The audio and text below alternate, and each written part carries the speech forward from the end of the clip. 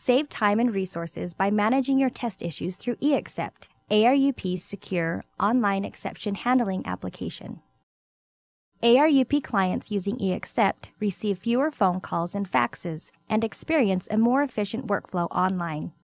Clients can also sign up multiple staff members to handle exceptions.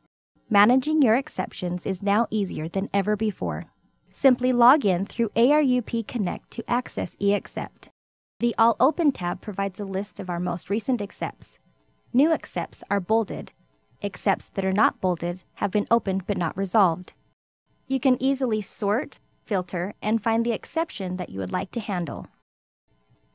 Click an exception to view its test details along with the processing information needed for the sample. Once you've researched the solution for the exception, you can add the corrected test information into the comment box. Our exception handling representatives will handle everything from there. If there is a stat or a stability issue, ARUP will follow up with you directly.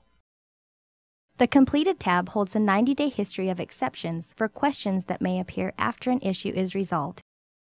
With eExcept, you can work on issues at your own pace while reducing phone calls and faxes. For more information regarding eExcept, please visit aruplab.com forward slash connect or contact our Client Services Department at 800 522 2787.